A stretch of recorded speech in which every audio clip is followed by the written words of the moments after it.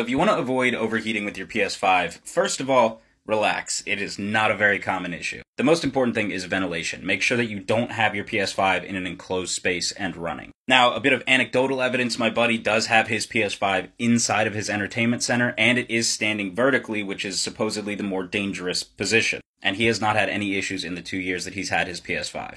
But if you want to be as safe as possible, make sure that your PS5 is laying on its side and that it is in an open area, like on top of a desk or on top of a dresser or on top of your entertainment center.